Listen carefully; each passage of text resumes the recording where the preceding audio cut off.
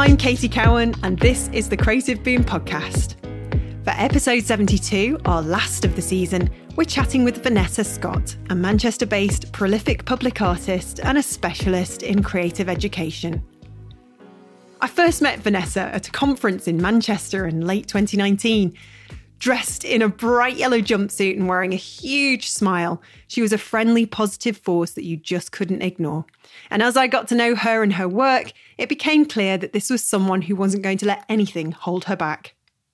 In the years that followed, Venessa's reputation and artistic practice deservedly grew, leading to a Blue Peter badge that she designed herself and introduced live on the popular BBC children's programme. I swear, I'm not jealous, promise. As well as creating one of the UK's tallest murals, celebrating the pioneering work of Sylvia Pankhurst. Venessa's won awards, become a Great Mancunian, which is a local project by Manchester College to celebrate people who have had a significant cultural and creative impact on the city of Manchester and its surrounding areas. And she was appointed as an official ambassador for the Pankhurst Centre. But despite all of this success, Venessa was going through unimaginable suffering and loss behind the scenes. The last couple of years have indeed been very difficult. Even for this podcast, she turned up to my house with news of further sadness. But there, as always, with a huge smile on her face and that infectious laughter, a warmth and determination to stay strong, be positive, and march on. It's this strength that perhaps comes from having a very strong family unit and a local community that she often taps into and finds incredibly supportive. It's perhaps why Venessa dedicates so much of her time to help others, as she and her sister also run 731, a non profit organisation that uses creativity to further the education and skills of serving prisoners, ex offenders, and disengaged young people. Here, Venessa chats about finding her voice despite the sexism or racism she has sadly sometimes endured. About not having a seat at that mythical table and why it's important to build our own, welcoming everyone else to join us.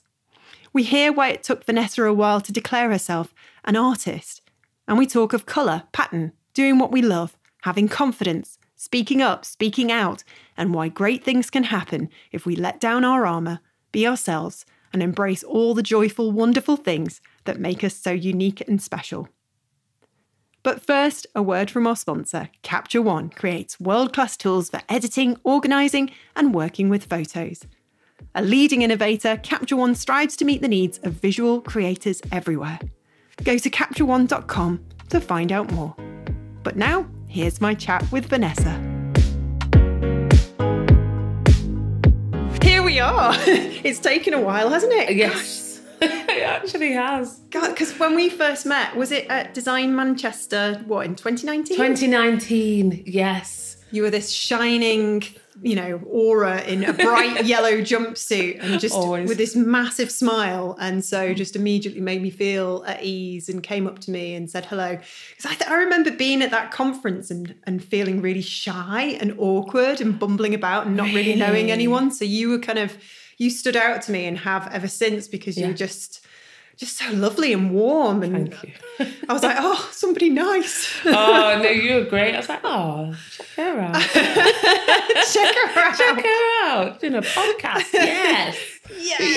Yes. You're a dark horse, though. Go on. I was like, because I've been trying to get this, but how many times have we tried to do this I podcast? I literally think it must be about five times. I think it is. I mean, I'm trying to make light of the situation. It's not been easy for you over the last couple of years. You No. ha- you have probably been one of the most unlucky people uh, that I that I know, Mm-hmm. really. Um, so I feel honoured that you sat here now in my Thank dining you. room, Yeah, it's a lovely Um, dining room. and I was hoping everything was okay now. Yes.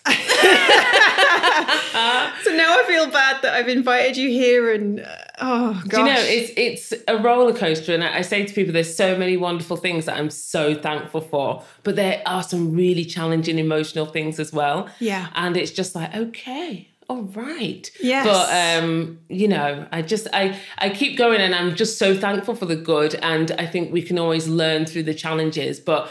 it definitely hasn't been easy. It definitely has been a lot of heartbreak and a lot of loss, Mm. you know, but I still, you know, have my parents, my sister, my brother, you know, so there's so much I do have. And that's what I'm really thankful for. But yeah, it has not been easy at all. No, like I, I, you know, we won't go into too much detail about what you've been through personally, but it is just one thing after the other, and I'm just like, hang on a minute, this girl does stuff for charity, you know. She's like giving back constantly. She's got a non-profit that helps others, you know. Come on, like if you're going to pick on someone, at least like think about somebody like I don't know, somebody maybe with blonde hair and a bad haircut. I love that that's the measure. I'll make sure I don't ever go blonde then, right? oh, but I'm Oh, glad. I'm glad your brother's okay. He is, yeah, yeah, yeah. I'm really thankful. He- He's good. He's out of hospital and he's he's getting better. yes, Thank, he is. Thank God. I Thank mean, heavens for that. I think, I mean, you've had it particularly bad. A lot of people, myself included, have been very lucky. Um, we, you know, touch wood. Um, you know, we it really has just been okay, a little bit of inconvenience and a, and a slight change in lifestyle, but really, we've we've just been so blessed, so lucky that nothing awful has happened. But um, now and again, you you know, you, we're only human. It's our own perspective, isn't it? yeah. you'll just feel absolutely overwhelmed by it all. Um, and it's in those moments that you might feel a bit guilty and go, oh, well, come on, you've not got it that bad. But it's just exhausting, isn't it, at the moment? I think it is exhausting, and I uh, worked all the way through all of the changes. So I don't. there wasn't, and and I, I feel like it's really interesting because it was like everyone was separated into these two camps where everything stopped. Or everything went absolutely hyperspeed. Yeah. I was in the hyperspeed uh, category. so it was very strange dealing with um, seeing the world change, seeing the fear in people, seeing the anxiety while still continuing. And it was like, whoa, wow. Because your Yeah. career, you I mean, you've always been very successful, but your kind of career took off onto a kind of another level. whole different it? level, yeah. Yeah. It was a very interesting timing. It's like, okay, right. So there's lockdown, but there's all this out going out more. And it was strange going through town and it was just me on my push bike and uh, all the builders. So it's just like lots of people in high vis and then me cycling to my next thing and cycling to the next thing. So it was really, it was just very interesting kind of dynamic. And then just seeing everyone creep back out. But it was actually looking at how people coped. I'm really empathic. Sometimes I feel like I need to dial it down. So I take on everyone's like, like I feel your anxiety, I feel this. And you know, I was really feeling for people. And mm-hmm. that's where I think I needed to just chill out and not do that because that was making me more tired. Because I was more worried for people. Yeah. I, You know. I think when you give back a lot, you can forget Yes. yourself, can't you? yes, yeah, hundred percent. So that was that the biggest lesson of the last couple of years then for you? Did you sort of say, "Oh, actually, Venessa, I need to remember me"? Yes, and it's so. It's. Did, did you know that? How did Oh, you know on. that? no, it's really true. That's exactly what happened. I Yeah. thought, right, okay, you know, you need to maintain yourself as well. You know, you need to take a minute and just have those times where you just completely switch off, and it's it's almost annoying for people because after a certain time in the evening, you really can't get me unless you know my magic landline number. Not many people have a landline. I still have one. It's like Yes. the secret Venessa phone. I love it. And uh, so it's really difficult to get me after a certain time because I just learned that I need to just switch off from everything. And that's even, you know, with social media, because social media is a part of my my my job, if you will, a part of my everything that I do. So I don't really go on it socially. I go on it for like social work type thing. Yes. Uh, so I just switch off from everything. That that is something I wish I was better at doing because it can cause a lot of anxiety and stress. Yeah, you, yeah. could, you think you're okay, and the next minute you go on and you look at something, and it could It's be not a- good. Yeah. Yeah, it could be anything. It could be a reminder of someone that slighted you once, or Yeah. it could be like um, somebody else's, you know, project that they've launched that is uh, And you're like, oh my gosh, that's amazing. Oh. better. And then you're like, do you know, for me, the worst thing, my worst thing is if I look at my phone or social media late at night, I start getting ideas. yes, It's really bad. I'm like, mm, wow, okay, mm, project idea, mm, mural idea, mm, maybe we could, mm, and that's really bad. So I, I can't. It doesn't take much to sort of start my cogs again, it takes me about two hours to wind down. Yeah. No joke. And if I did that, I'd have to wind down for another two hours. Yeah. I think. So I have to stay away. yeah, I think it's probably wise knowing what you like in in normal working hours Yeah, as well, yeah. because just following you on Instagram, I get this sense of how like energetic you are, how Mm-hmm. positive you are. You know, I saw this amazing clip of you today. You you were copying somebody else who works in the creative industries, where you're sort of you know dressed down, maybe not any makeup, I don't know, Yeah. and then you you kind of show a work in progress of a mural on the wall, and then you sort of wave your hand in front of the camera, and then you're magically all done up and still beautiful, and yeah, and the and the mural's finished. I'm like. why is why is my life surround you know radio and writing? I can't do any of these Oh. wonderful things. It's great. It's nice. It is really nice to be surrounded by colour and Yeah. really be able to lean into my love of colour and Yeah. pattern. I was just like, I love this. Yeah. So I literally got out of a very brightly coloured car in a brightly coloured jumpsuit with bright coloured ribbons in my hair. I was like, hey, let's unveil a mural. and it's nice to be able to do that, you know, like really just not even hold back. Oh, I love it. I love that you dress really kind of bright as well and like really sort of enjoy, you know, expressing yourself in what you wear because like color is something that I think a lot of us don't really dare, you know. I mean, you're in a lovely sort of tie-dye black kind of I outfit know. tonight, you know, but you did turn up in a in a pink car and Yes. a white white coat, so we'll we'll let you off. But I know, this is like quite, yeah. demure, Demure, yeah. yes, and the earrings, Accents of gold. beautiful. Thank you. Is it a ridiculous question to ask if you have a favorite color? You know, I laugh because it's like I have often get this question, and the one I actually get is, "Is your house like really bright?" No, it's not. It's filled with color, but it's not bright color. Yeah. So my favorite colors are actually earth tones. Believe it or not, I love like uh, am- amber colors and um, russets and um, mustard and green, and those are the colors I actually love. Slightly kind of African, I would say, maybe. Yeah, they're kind of really rich, warm, earthy colours. Yes. And uh, you know, if you looked out over a forest in in autumn, this is my palette, mixed with like bronzes. And it's so stunning out there at the Yes, moment. gorgeous. Absolutely wonderful. I keep taking pictures of my new trainers next to all the leaves. you see? Such an Instagram cliche. Right. No, but you have to do it because it's just so nice. But those, those are my favorite kind of palette. Um, but I do, I just love color. But I think if you're in my home, what you'd see is reds and greens and bronzes and reflective surfaces and black, some black and Wow. yeah, deep colors, deep That's- rich colors. That surprises me. And it surprises everyone because everyone thinks my house would be like really, really bright, but no, Yeah. no, it's color is everywhere. Yes. Plants are everywhere Oh, yes. How many have you got? and they're just like too many. And I keep, and I, as soon as I got this, um, seem to have like quite a, you know a skill for propagation. So now I just keep growing more plants. Oh, my goodness me. So I've got all these little bottles with little rooting, and I love seeing the roots grow. So I've got all bottles along my kitchen windowsill of propagating plants. I just love it. you know, I've got loads. you can you can give me some tips afterwards. I will. But I've got an app and I've got 18 plants listed on it. Oh. And it pings me and gives me little tasks to keep them watered, Like misted, cleaned. Missed, you got to got, got to miss them. got them got to miss them Mm-hmm. but some just lately i've because i'm like it's it's nearing christmas and i'm getting that kind of annual exhaustion you know it's like ugh, and and it pings me on my phone and says it's been 33 days since i'm like oh Yeah, no, that's a long time. that's a long time they're still alive Thank heavens, yeah, but that's long. that is long.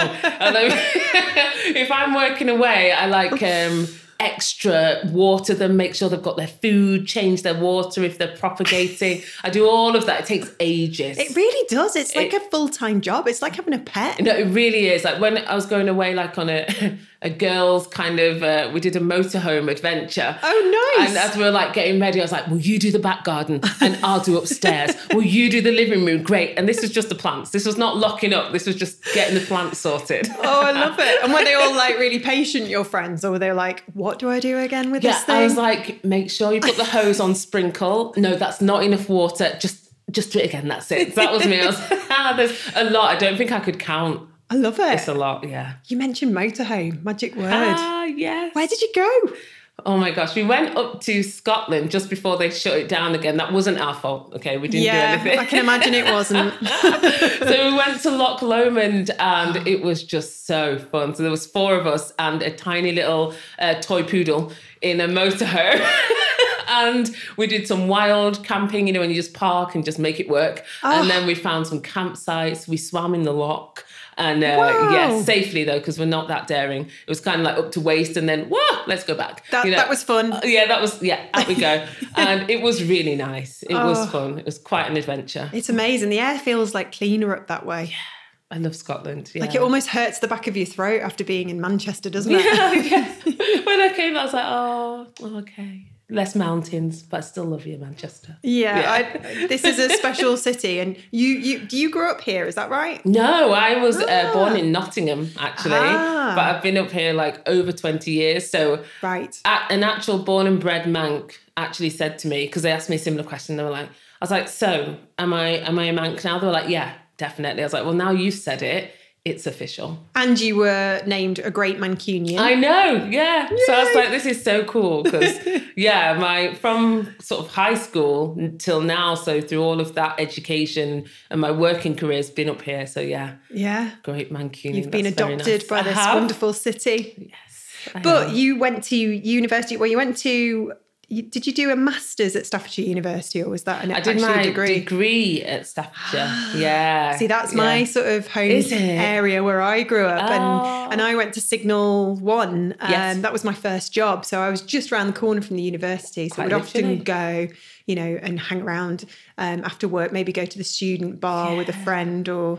Um, but it was it was a nice university. Um, you know, good courses. I think they've got a really good journalism course there as well. Yes. Yeah. I think the film journalism really, really strong there. They had that lovely theatre, had great sandwich shop, which I had some really calorific sandwiches in. But it was a, a really nice kind of small town feel, even though it's really quite a big place. Yes. And I enjoyed having the train station just right next to the uni. So you're just like, hey, I'm here. Yeah. And uh, it was nice. Yeah, I enjoyed And you the did town. well. You did graphic design there, but then you sort of left and you graduated and you went into radio initially. so with the radio, that's always been so. My sister, we're really close sisters, and she's almost like the other sphere of creativity. So her specialism is like film, TV, radio. Wow. Right. And then photography that side, and then me, graphics, art on this side. Amazing. So we kind of our skills complement each other. And she was obviously studying that and went straight into community radio.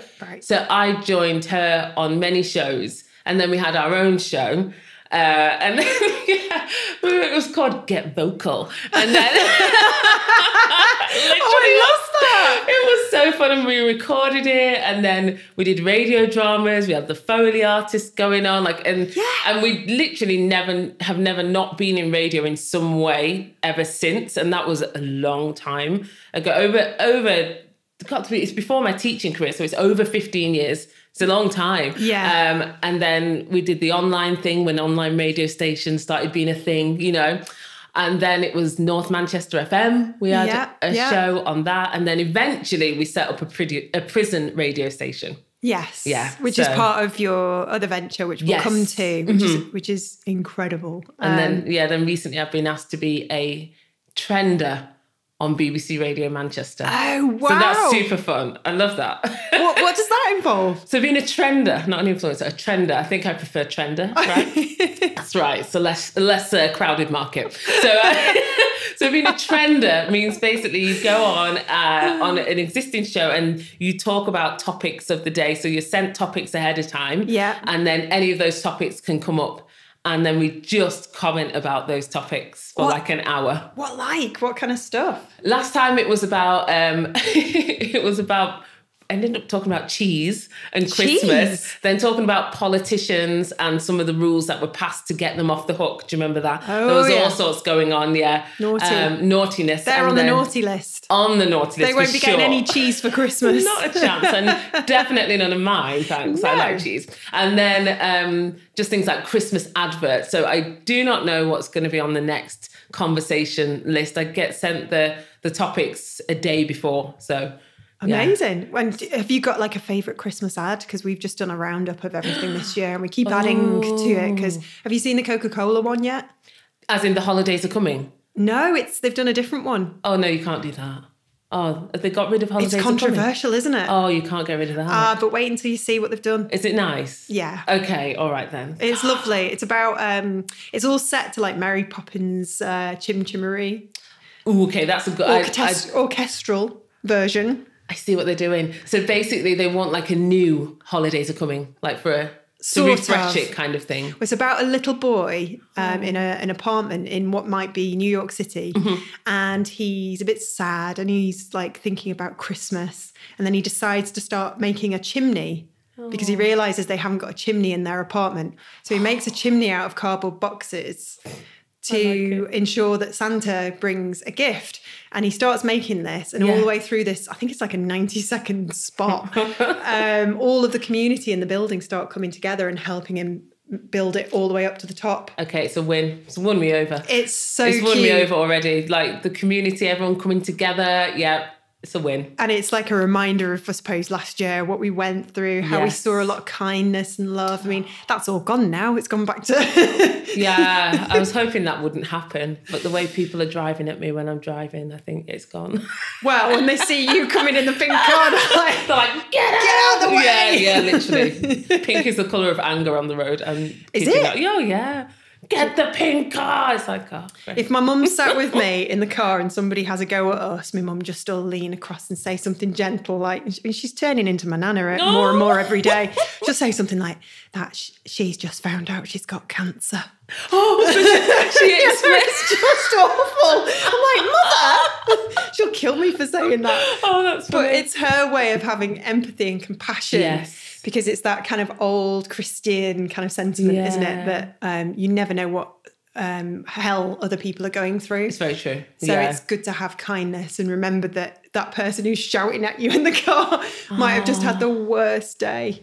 That is that's a really good approach. Yes. Because sometimes it's very testing. You're like, it's okay, it's all right. Yeah, exactly. And it can be really testing sometimes. It's not always all positive um, in the creative industries. You know, it can be quite a struggle at times. You know, there's a lot of criticism on, on you know, unwarranted um, uh, advice from from people. That's nice. do, you, do you get that? Do you get people slide into your DMs, DMs and start with just to let you know? Do you know, I've not had that. and that's really interesting. I've not actually had the one of, oh, just so you know. I've had one troll who was very determined.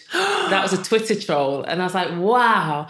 And my sister was like, you never feed the troll. I was like, okay, cool. Because I didn't understand what was going on. I was like, oh, right. Wow, you really have a problem. You were trying to be nice, weren't you? Yeah, I was. And she was like, no, never. Don't feed the trolls. Don't feed the trolls because I was like, oh, okay, so they're not trying to have a conversation. Nope. No, I was like, drat. I thought you just wanted, like, you needed some help or you needed a chat. No, they didn't. They're just angry. They were just angry. So yeah, They've just found out they've got a terrible terminal disease, you know. they were just. I thought, wow, okay, I really offend you.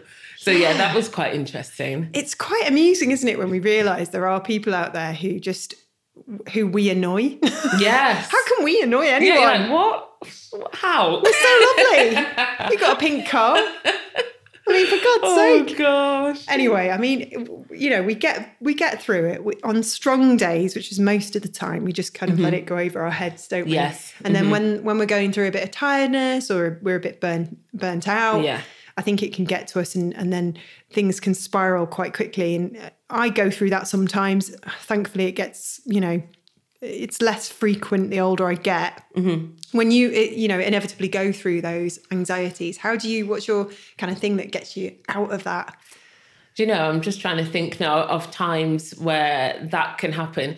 It can be, like you say, at times of exhaustion. Hmm. And my mindset is largely positive. So I do always just try and think, okay, that's tough, but look at this side. But I'm trying to think of a time because I know that it's it will happen. But I don't know, I'm just wired that it doesn't stay with me. Yeah. Does that make sense? Yeah, And I don't want it I don't want people to think that I never go through challenging times. I do. But it's just wired not to sit with me because I've found that it's not actually helpful to me and it just brings me back and just kind of weighs me down. So I'm just like, okay, because you know, I have had people be you know, quite nasty. I've had people try and hold me back. and I think because I've had that through my career, from uh, teaching right through, it's kind of a resilience built in me that there's really no point and there's no, it's not going to benefit me to just mm. dwell there. And one thing I was always taught growing up was you, growing up was you answer criticism with performance. So that's kind of hardwired in me. So it's like, okay, you're calling me this, you're saying this, you're slating me with all the language. So fine, whatever, I'll do this. So that mm. those kind of circumstances do happen probably more often than I I care to to dwell on. But because my my approach is answer criticism with performance, keep going forward, focus on on the the positives of you and what you can do, and on those people who actually have so many nice things to say about you. And yeah, that's what I choose because it's so easy to kind of just let the nastiness seep in. And you then forget that for that one person or two people or even group, whatever it is, there's so many people who value you. Yeah. And it's a thing, like, I feel like saying it now, it comes from when I was at school, it always used to annoy me how I might be working really hard, but then someone being really irritating would get all the attention. And I'd be like, I'm actually still struggling, even though I'm not being a pain in the bum. I still just want a bit of help with this. Yeah. And you wouldn't get any because you're not being horrendous. So that used to annoy me. I was like, do I have to be really annoying in order to get any kind of support or help through things? So I kind of think, like, right, if you're going to be horrible, I'm not going to give you any attention. Yeah. I'm going to focus on the kind, nice, positive people instead because yes. they aren't getting any thanks. Yes, no, you're absolutely right, and it's a it's a really timely reminder, actually. You know, because I think that school attitude carries on into adult life. Yeah. Sadly, um, there was a designer that got in touch with me the other day because he saw something on Twitter that he didn't like. You know, I got a bit of kind of uh, grief off, uh, off, an, off a man, a male male designer, mm-hmm. and he sort of messaged me and said, "It's um, you know, it's school playground 2.0." and you just have to let it go over your head. exactly. He just he said he was terrified of um, bringing his two daughters into the world. Um, with what we have to deal with, which we won't go into too exactly. much, or we can. We can just lay it all bare. You know, it's it's just one of those things. But I always think, and it might be my ego talking. I think, look at what we've achieved irrespective of that. Yes, exactly. And that's what keeps me going. I keep thinking, well, hang on, I'm doing okay because if these are if if you're talking about nastiness being sexism possibly mm-hmm. racism yes. then you know i certainly have experienced sexism. And yeah despite all of that we we conquer all. Exactly. And and that is why i think i focus on that. Not because i've never had challenges but because i often have challenges yeah. and I'm not about to just dwell in those because I'd probably drown in them. And who's trying to do that? No, because it's not going to actually benefit me. It will actually just be good for the people who are trying to hold me back and push me down. Yes. You know what I mean? So I'm not really about that. No, I agree. And I, I, think, I think it's really difficult, isn't it? Because if we call out the behavior as well, that's mm-hmm. just another way of them winning. Yes I think if it holds, if it if it can really suppress you, and I think it's suppressed because we're human, things will get to us, and more things can get to you than you realize. I think until yeah. you take a pause and think, oh, I'm acting this way because this person was like this to me, or this group of people was like that. And I've done a lot of that reflecting. And throughout my time in education, I had a lot of uh, organizational bullying, unfortunately, and that did impact how I would expect people to be. Like there was a time where I was more used to people being nasty than I was to people being nice. So then when people were nice, it was very strange for me. Yeah. And there was even a time where when things like let's say most pointedly was when I did the the huge huge 38 meter mural and everyone was going like crazy the world's tall no yeah. the UK's largest the UK's tallest That's murals amazing. yeah and when I did that like uh, social media all these things were just going crazy and it was like message message message message and I was so I just couldn't look at them I couldn't look at the positive things because it freaked me out because I wasn't used to that much positivity heading my way. It's overwhelming, isn't it? Yeah. I was like, they were like, what are people saying? I was like, I don't know. I'm not looking. well, maybe in a, in a subconscious way, you were just like, just in case there's a negative comment. Yeah, I think. Do you know what? I think I would have. I was okay for the negative. I literally think it was because I was not used to that positivity heading my way, and I when I started to analyze that, I was like, okay, so we need to move forward. And someone is, is Pete actually, Pete Barber. He's a really skilled um, sign writer and painter. And he, I said, he said, uh, I think we were talking when we were high up on the mural, and I was like, oh, you know, I can't really talk about myself, you know, Pete. I just, I just don't like it. And he was like, right, well, you're just gonna have to get over it. and He's right. I, I quote that advice because it really did help because it's like you're gonna have to get over it, Venessa. Just get over it now. Yeah, People want when to hear was what you've got to say. When was this? Was this like a couple of years ago before the pandemic? Yes. Yeah, Yeah. Because since then. I've seen you sort of you, your about page is more confident. Yes, you know, yeah. so's mine. so's a few other people that we know mutually. exactly. I feel like the last couple of years we've all been, you know, in our lovely little kind of network, just finding our voices and Exactly. and gaining that confidence and going, oh, actually, I deserve a seat at the table. There we go. Just as much as anyone else, but I'm still tiptoeing. yeah. See, I'm less tiptoey now. I'm less. I'll just hang around with you. Yeah, I'm less tiptoey. I'm like, okay, cool. Yeah. Just do it. I think when I first started my career in PR, I was a bit more bolshy and I used to walk into a room and have to deal with um, a table full of uh, men who were twice my age Mm-hmm. and hated PR and possibly hated women. And I would sort of be in sky high heels, red lipstick, you know, God, it was. You oh, I love the way you're going. I've got something to say about that. Oh, go on. really? Yeah, go on, go on. And they'd go, and one of them, before I even sat down at this boardroom table, and there was about 10 of them sat around it, all looking at me cynically. I was like, only 20, 27, 28. Um, and one of them went, So what's this all about then? I don't I don't really believe in PR anyway. And I just threw my notebook really hard on the table and went, All right, boys, shall we uh shall we begin? I love that girl, and that girl got a bit lost along the way over the last however many mm-hmm. years because we just get ground down, and people we don't talk about it, we don't shout out, we don't call out behaviour. I, I mean, I had a bit of a crash last week because it just got so it got too much, mm-hmm. and I was so tempted to just scream something out on Twitter. For God's sake, goodness sake, sorry, Nana. For goodness sake, will you please just leave me alone? You know, what Yes. is your problem? Why are you kind of constantly targeting me? I am just running a lovely little platform that helps creatives who aren't necessarily big names. And, mm-hmm. you know, what am I actually doing? I'm not going around murdering kittens.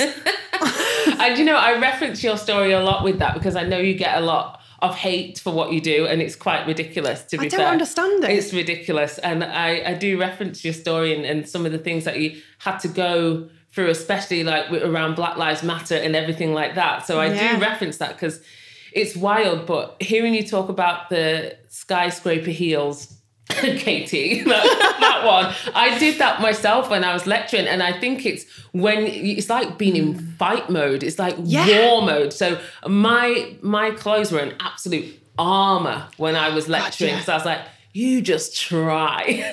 the, the clothes say, don't even try before they try. Yes. If that makes sense. yeah, and you put on this front, don't you? You're almost like, like- aggressive. And, Yeah, it's like don't even try. So your clothes kind of say it for you. Yeah. So I know you think like that that version of you was stronger, but you're probably stronger now because you can Yeah. still bring that without the armor. without the armor, but Uh-huh. but being a bit more vulnerable, Exactly. being a bit more honest, reaching out to people a lot more, Yeah. which is something I never used to do. I just used to suffer in silence, maybe talk to my husband, but you know, I, I was suffering on Friday, and then I remembered that I now have lots of female friends in the creative Yes. Mm-hmm. industries, and I was like, right, I'm going to ring somebody. I don't know who did I ring? I rang Sarah Boris, and I Oh, said, right. Sarah, can we have a chat? with that. Do you know my, my stupid Apple Watch? It keeps like saying, oh, it says, I don't know who did I ring. I ring Sarah Boris. it did it in my last podcast as well. And I said to the guest, I said, I might leave it in because it's quite amusing. It is every time. But we spoke for two hours, and I said to her at the end, and she needed to chat as well. I, I- you know, it wasn't just a selfish, you know, you know, yeah, become a drainer rather than a radiator type thing. It was really lovely to chat because we just reminded each other that Mm-hmm. actually we we are in an industry that can sometimes feel very unwelcome. Yeah. Um, and you know, you forget that you have got you know a shared experience of that, and it's just. You know, keeping each other sane, and then I actually I rang Danny as well. Oh, yeah, Um, yeah. well, actually, I didn't ring her until um, last night because she was in London. She was in London all of last week. She was having a great time. So we had a nice little chat as well. And it was it just reminds you to reach out and talk Ex- to other people and know that you're not alone. Exactly. And I think it was when I was messaging, I think when I messaged you, I was just like, yeah, we could just we could just meet for a chat.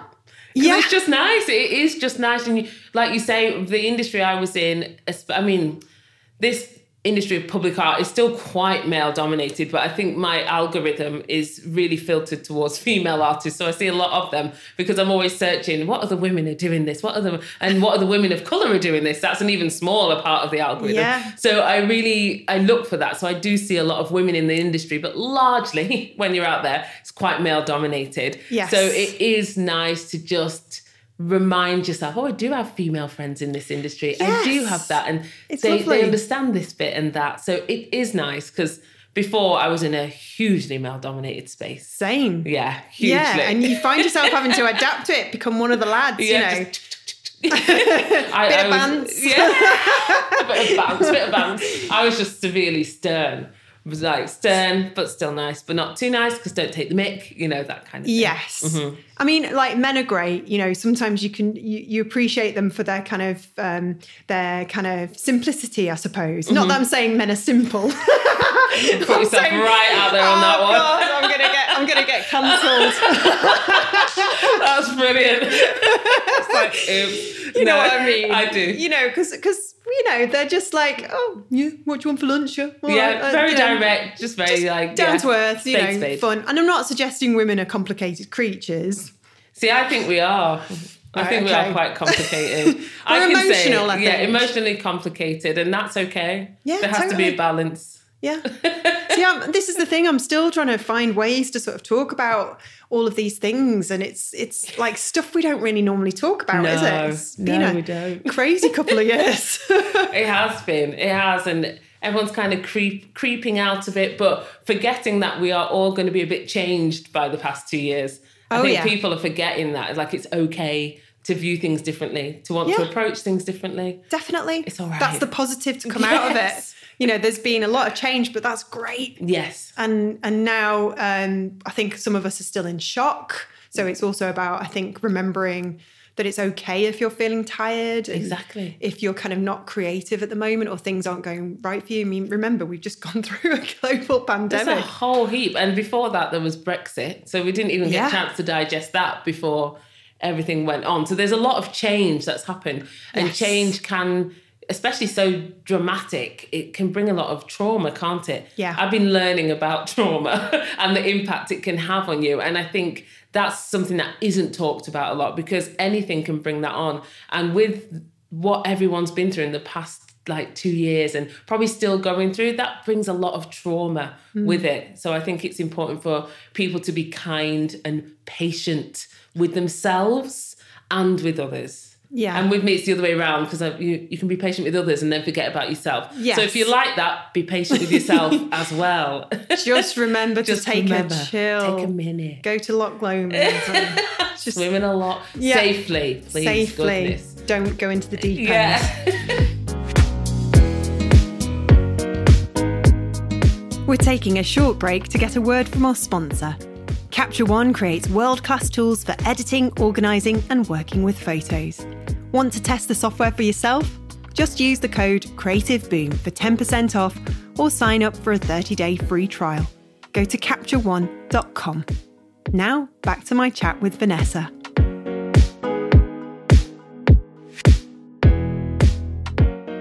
So you went freelance in 2015. You kind of left. You, you haven't left creative education, but you were you were um, the you worked at Manchester College for did. quite a long time, Long time, yeah. and you were the course leader. Yes, I was one of the course leaders there for graphic design, and then we had graphic design and advertising. Wow. I still even remember the UCAS codes. So Oh. still like in there. It's Ingrained in the brain. Yeah, because I did all the uh, the interviews. So I was like the UCAS lady for our course. So I would read all the applications, interview all of the prospective students, and all the things.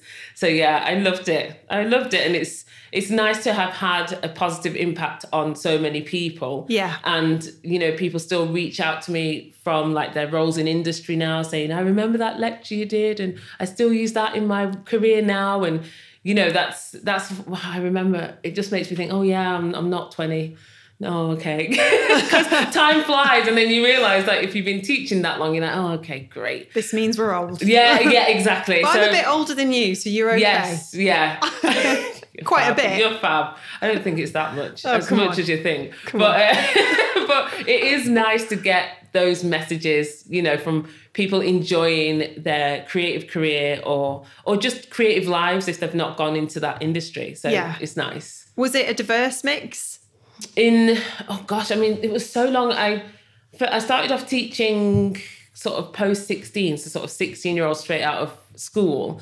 And um yeah that some of those students still contact me now which is is i just love it. And see them with their children and all of that. It's just so nice. They're like in their 30s now or whatever. Oh, gosh. yeah exactly. So or like late 20s sorry if i got that wrong can you imagine they're like what No, Venessa, no. but uh, yeah, so so that, and then um, I worked at Jewish seminary, so that was really interesting as well. Um, and then it was very diverse, Yeah. but there was a, it was quite male heavy actually. Some of the intake, but Yeah. yeah, people from all over the world and from all different nationalities across the years that I was teaching. So yeah. So, what was the tipping point that made you leave all that and then start out as a mural artist and a designer?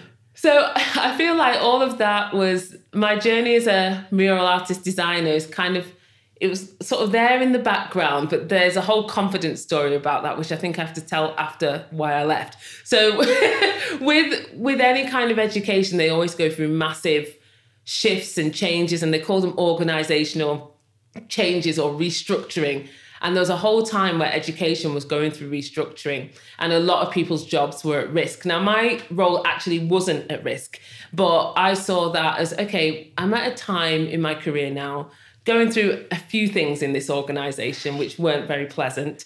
And I just thought I can either stay or I can use this time now to kind of just get back out there into industry because I always knew I wanted to go back into industry before teaching my students' children.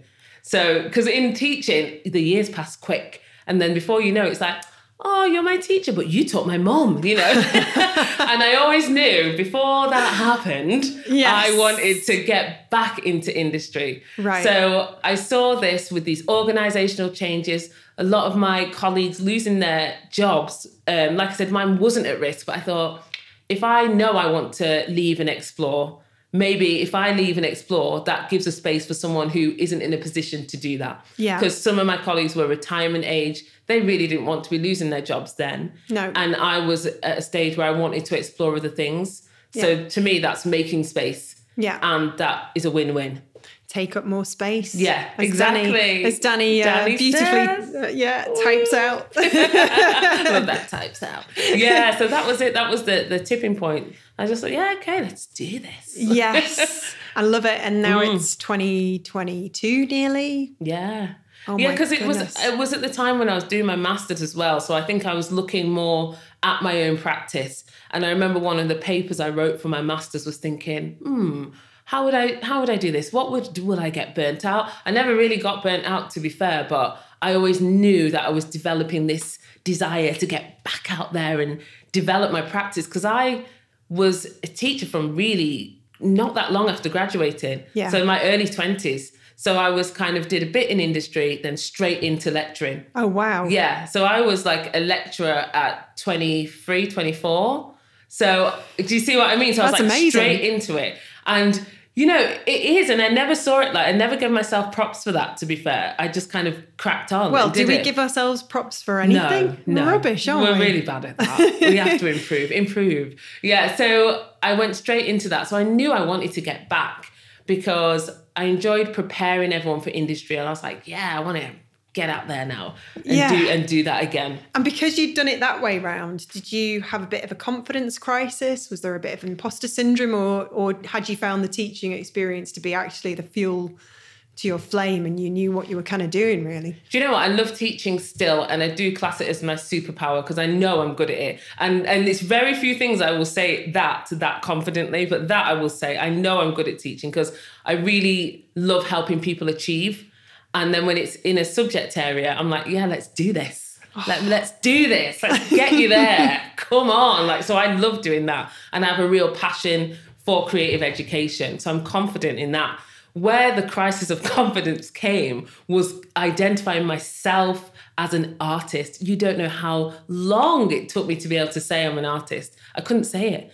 I was like, mm, I'm a designer, I kind of do these things, I kind of do that. I just couldn't. Sort of running around. Running around. da, da, da. I couldn't say it. Yeah. And that was, you know, it was never really instilled in me. Um, you know, it's kind of like artist for this group, you know, don't know what is you do. So like for longest time, that's not, you're not, you could basically, if you're not a fine artist, it was as though you're not an artist.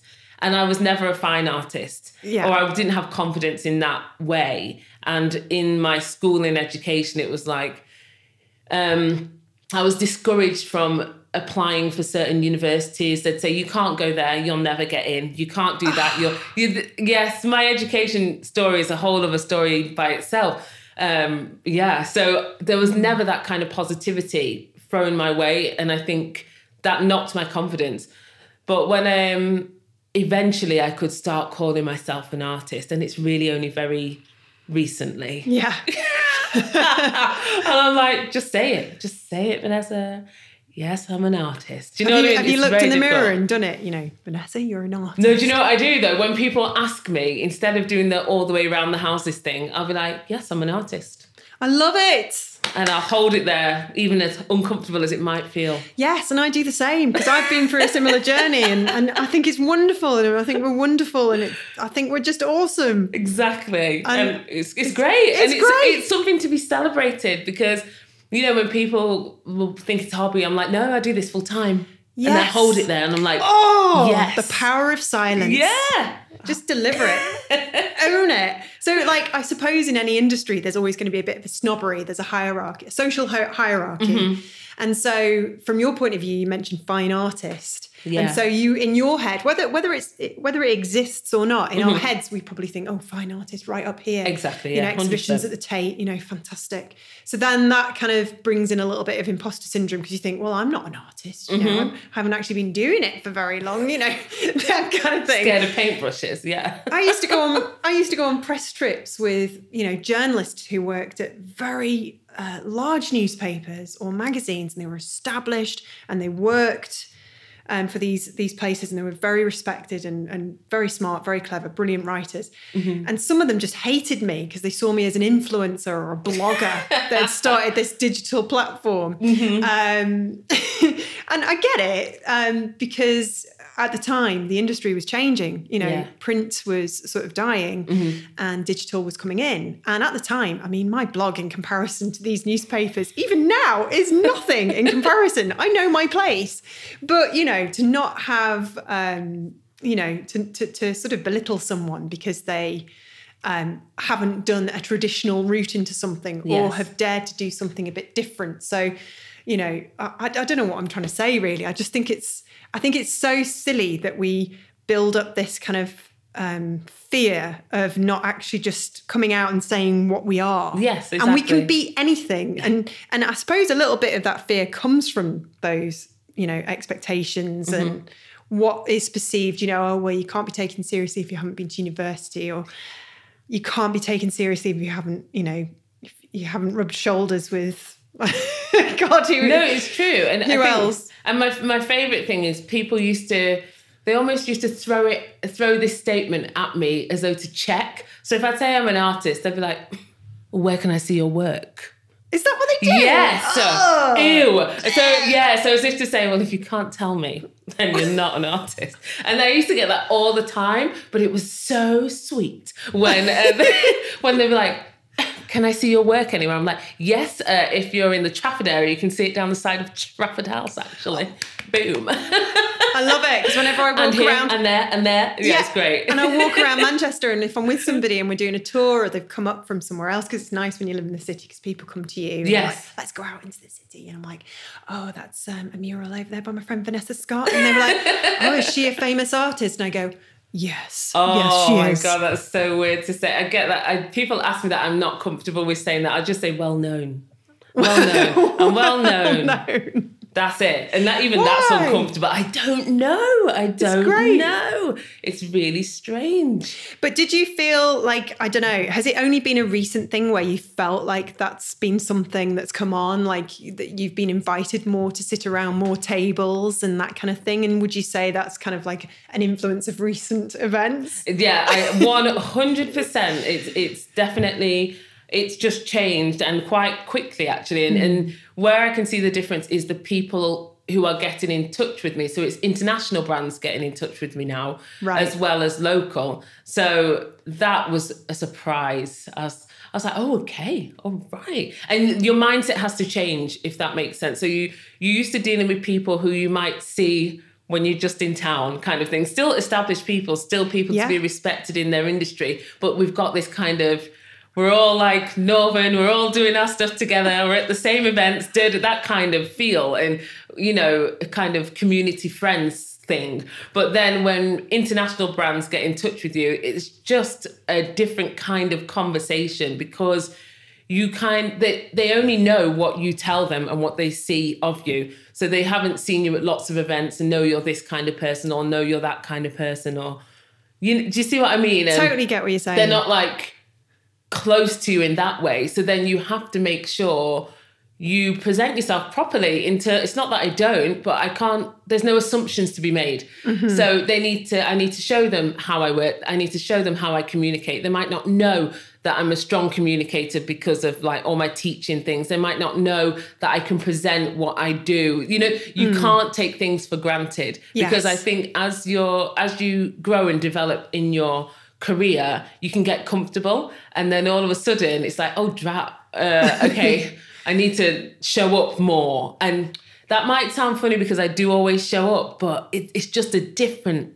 thing that you have to switch in Yeah. to play. It For is. example, my website, I might be like.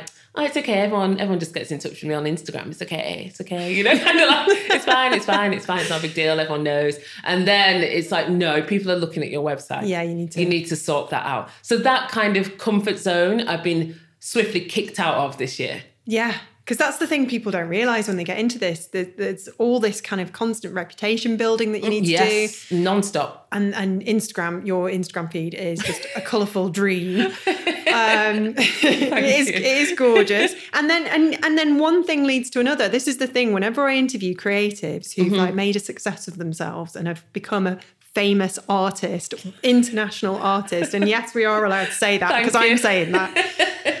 Um, it's because there's just been this perfect storm of things that have happened, and the t- there's a tipping point at some point in Mm-hmm. the career, and then that leads to something else, and then that leads to something else, and then that leads to something else. very and, true. and it's just it, it's just so satisfying. I mean, you ended up getting a blue Peter badge. Yes. I don't like you anymore.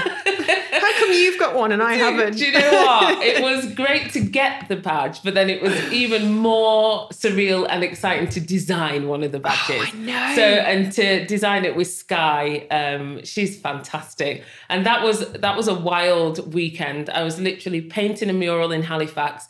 Um, which was there was storm, there was snow, there was sunshine. The mural was washed away three times, and I had to repaint it before My the God. Piece Hall reopened in like 10 hours. It was intense. And right in the middle of that, I had to go into like a quiet room and do the VT Yeah. to launch this badge. so it was just like. So you went on telly as well. Yeah, so so that was filmed. Like, so we're just gonna get you to do this VT. So I was there like trying to get the snow off my face and trying to look like really presentable. I'm sure you look gorgeous. And then thank you. and then just be like, hi Sky, so here's the concept for the badge. so that bet you was were great. I've got to look up that clip now. Yeah, the clip is there. It's there. And I was like, yeah, then you went back out into the snow. There's this, is, this is going to be one of my questions because it must be really hard work with the elements, the wind, the rain, and like being up on a ladder, being painting the wo- the UK's tallest Tallest mural. one. My goodness, like how do you do it? Do you know, I, I have a lot of energy in general. I think, I don't know, I've always done many things at once. And actually, since lockdown over the past two years, what I've done is refined what I focus on because I've, I've always been a person doing lots of things. And I thought, okay, if I just, and it's not easy this, but I'm always like, if I focus down on this, then I can maybe go more in depth with it Yes. rather than lots of things on a shallow level. Yeah. So I've it looks like I'm doing loads and I am, but it's still less than what I used to do because I want to get a depth and I want to develop my practice more. Yes. So I think in terms of battling the elements, I just love it. I love being outside. I love paint. I love, li- I love the text message I got you from you the other day, and it was just like a, a photo full, like it was, what was it? Like a It was trolley my full crate, of. my, my folding trolley, which is an essential thing. It oh folds, God. small car, folds small, opens out big. And I'd just come back from a massive shopping spree in town of like spray paint. I had like 50 odd cans. And I was like, yeah, hi, hi, Katie. Yeah, I'm just here. There's a picture. this is what I'm surrounded by. Yeah. And I was like wheeling it through town, rattling on the cobbles to do another to mural. do another mural. Yeah. Because you've just done one for, um, was it Black History Month um, at Yes. home, Manchester? How Yeah. wonderful is that? And that was based on Makara Jack. Yeah, so Mankara Jack. Oh, is- Jack, Yeah, sorry. Mankara uh, Jack is, um, you know, when you're given time to develop your practice, you really fantastic things can happen. And I was given the opportunity through Elevate, which is like an artist residency program, and I was the first artist in residence there.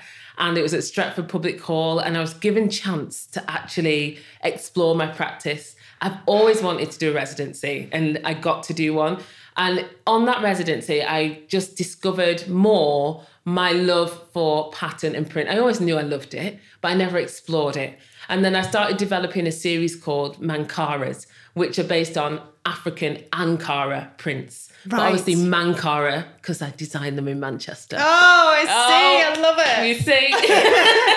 Genius. And I just used them as a way to comment on some of the experiences I had. And this was around, you know, experiences with Black Lives Matter, learning about words like microaggression, which I had experienced a lot, but I didn't know it had a term. Right. So it was a colourful, wonderful, visually exciting way to talk about some really dark, tough things Yeah. that I'd experienced um, throughout my career, more my career than my life, to be honest. Because in my life, I'm surrounded by really loving family, um, which is very fortunate. But in my career, it's not always been that supportive and really quite dark and nasty at sometimes. So, talking about microaggressions, you know, there's been times when I've had to put a colleague in between me because another colleague was going for me physically. What? You know, That's and that not was, micro. and Thank you. You see, and someone said that to me because to me, I was like, oh, microaggression. They were like, Venessa, what you're describing sounds like aggression, aggression. But it was minimalized or minimized. So to me, I thought, oh, it's nothing. What on earth had you done? Did you did you sort of say I'm a better artist than you? No, I mean, I did achieve. I mean, I'm not trying to I'm not trying to make No. light or kind of No, no, no. I did just- achieve. I was I was successful in my role, and it did irritate people because you always get people who are irritated by people being successful, Mm. and just for some reason, this individual didn't really take to me, and uh, yeah, they just expressed it in that way. But Was it a woman or a it was man? a guy. It was a man, okay. and I had no support. No one supported me. They all turned against me actually, and. Oh god, that's horrible. yeah, and it wasn't nice. And those th- those are the things that office politics. yeah, it was very political. And I just was like, right. So I always felt like I was wrong. It's like there's a herd of sheep and you're the one that's been bitten by the Yes. wolf, and everybody just turns the back on you and moves away. You know, like the film The Beach, Yeah. when the when the kid, the lovely, uh, the lovely gentle couple get bitten by a shark, and they and all just like, oh, leave them no, to die on the beach because we That's don't want want to get bitten. No, no, it's because they don't want it to ruin their kind of happy mood. So they're like, oh, just sorry if nobody's read the beach or watched the beach. I've just ruined the film for them. But yeah, that's that's that awful aspect of human nature where people just like, yeah, It was intense. It was definitely. It just, they don't want it to be tainted by your kind of, you know, Yeah, I can see that exactly, and so that was tough. But it was with the uh, the Black Lives Matter sort of uprising. These conversations were starting to be had, Yeah. and it was being had whilst I was having this residency. So it was bringing up so many experiences, and I was like, "Oh, so that's what that was, and that was not okay, and okay, so that was institutionalized racism." And so, do you know what I mean? So it was making me just face these things again. Mm. So I just put that into my art and then I developed the series of patterns called Mankaras.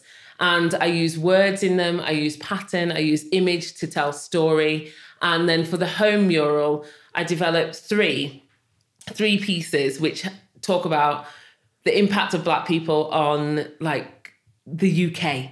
and how they've helped build the UK in in positive ways and so on. Yeah. And then I use the language of the Union Jack to to be like the, the house for it all. Oh, so that's so why nice. it's called Mankara Jack. Oh, it's so it's so lovely. It's positive. It's inclusive, and Exactly. it's, taking something that you've experienced, but turning it into something hopefully that represents change Yeah, exactly. and uh, change for the good. And hopefully, you know, these conversations will be um, continued, and the Yeah. the things that you've experienced are a thing of the past. Yeah, I hope so because they weren't pleasant. And I think I wanted it to be monumental. When I looked at the opportunity I had there for such, it's a massive space. Lots of people use it. It was going to make an impact, and I wanted it to make an impact. I was like, if this has never been done before, then I want to make sure I do it right because I'm representing people who might want to see their voice represented, who might not get this chance. So I want to do them proud. And Yeah. that's why I was like, I want to do them proud. So I was like, let's do it. Let's do it bright. With loads of colour. yeah. And I thought, you oh. know, Oh. it could be controversial, but if they're Why okay though? with that, No, I disagree. Why? Why some do you people say get very emotional. You know, it's the Union Jack. You can't do that. You can't. You can't put like An- Ankara or African-inspired prints on the Union. I know, but not everyone is as fantastic as you. yeah, but thanks. Yeah, not everyone has that mindset. And I was bracing myself for the hate. You know, like I was defacing the flag. I was bracing myself, but Home were fantastic commissioners, and they were like, "Do it then." Just. I was like, "Are you okay with this concept?" They're like, "Yes." I was like, "Great." Fab. It's great Let's when you get it. that artistic freedom to just do what you want. That's brilliant. Yeah. Because I'm doing this shop at the moment, um, which I've just launched. And, um, you know, people will say to me when I've approached them and we're going to talk about doing something, they're like, you know, is there any brief? Do you want me to do anything or is it completely free? And I'm like, just do whatever you want. Ooh, I can't guarantee that, you know, I'll be able to sell a lot of prints for you. We're doing pretty well on our launch week, but, you know. Oh, that's so exciting. Oh, it's just so nice. I think when we're allowed the space to breathe and just create and Mm-hmm. do something that maybe we've been thinking about recently or, you know, something that we want to explore, you know, some some great things can come out of that. They do, 100%. And like I said, that series started uh, when I got the residency opportunity. I took it to Bristol and did my first Mankara mural.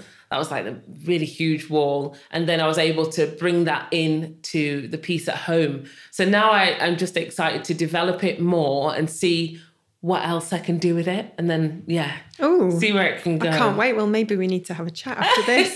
Definitely. So when you um, went freelance, you also launched this amazing non-profit, which basically uses art to help people who are in, you know, disadvantaged situations, um, ex-offenders, Mm-hmm. prisoners, and you take your workshops in and, and you just kind of you, you you kind of take your other passion, which is education, Yeah. to help others. That must be humbling. Yeah, so the, the story of 731 is it's really it's a story of sisters again. so my sister Venice was in the prison service teaching uh, in a creative sort of area and she was like, well, you know, unfortunately some people go into it for financial and they're not about people. Right. Whereas we're about people. Yeah. So she was like, this could be done better because we're about people. So then she started like freelancing there. And then at the time when I left, part of the reason why I left was like, let's do this, let's take this further together. So then we sort of wrote all of the I don't get too educationally, but basically we wrote things so that we could become an accredited centre and offer accredited qualifications to um, the the guys inside, so to the mm. people serving a sentence or on remand.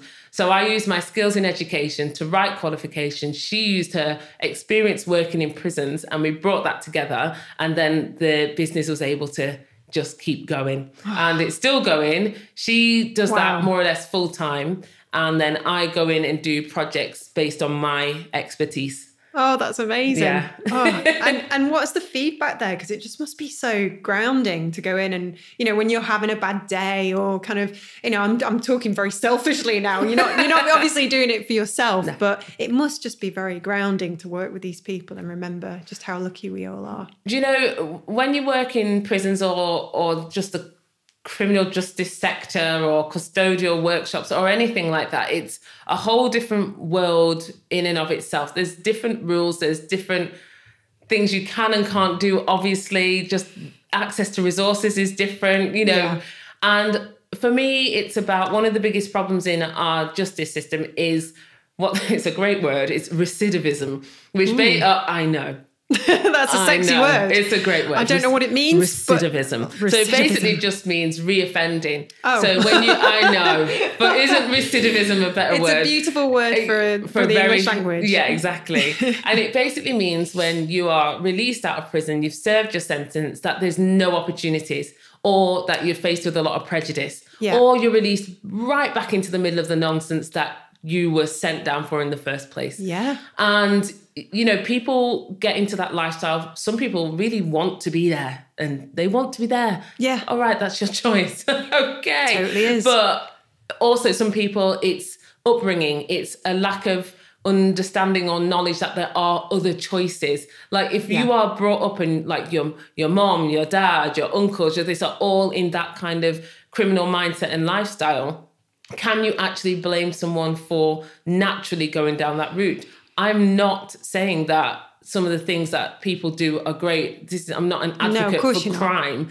I'm just saying some people want a chance or they might not have been exposed to a positive role model or opportunity, you know. So with recidivism, it's basically people go out, they serve their sentence, but they go back out into a world that isn't welcoming to them. That it's completely changed from when they went in. Yeah. They might not have the skills to actually get a job because people outside can struggle. And then there's a lot of prejudice. Yeah. So they end up re-offending. So you've had the compassion and kindness to realize that these people are human, Mm-hmm. that the forgiveness is a thing, Yes, it is. and people serve their time. yeah. So why can't they be reintegrated and, and enjoy a sort of you know peaceful, happy life Exactly. out, in the real world? And if art can save the day, then Then yes. It- that's just wonderful. It is. And I think it's just the empowerment of going in and being like, okay, yeah, this is this is not where I want to be. I don't want to keep doing this. But then going out knowing now I've got this set of skills, now I've got these techniques and strategies on on how to be a freelancer, how to be a business owner, how to really develop myself and try and be a self-starter, then you know that's great. And that's what we try and offer. And something I'd love to tell you about, if I can yeah, of course. is in prison there's um, a real lack of hair care like afro hair care Right. so we've recently launched something called the afro pod and it focuses on providing hair care and styling services for uh, prisoners with afro hair because afro hair is seen as specialist and difficult and weird Why? yeah so it's not catered for so we started that. I bring on black barbers um, or people who specialize in afro hair. Some have even been in prison themselves and now they've turned their life around as a barber. And we go in and we offer this service and uh, just talk to them about like the positivity of, you know, those skills. So I'm really proud of that. That is incredible. Do you, do you ever sleep? Is there any? Do you know? no. Because this That's is just something I'm working on. we're literally just scratching the surface here, aren't we? Honestly, that's something I'm working on. Average four hours. No, it's sometimes five. Do you know what? I'm probably the same. I think we're quite similar in our mm-hmm. kind of, you know, we have a passion for doing stuff and being creative. And Exactly. like, I'll wake up in the morning, and even if I've only had like four hours, five hours, I'll be like, right, what am I going to do today? Mm-hmm. And I'll start like preparing, and then I'll go to the desk sometimes without having the first cup of tea. yes, And I'm just I do that. determined. It's bad, I do it? that. It's bad. I'll Really just like hammer out some emails like before eight. Yeah. Then I'll have a cup of tea. Then I'll relax, and then I'll get in the shower and get ready. and- See? That's what what we bad, what we like.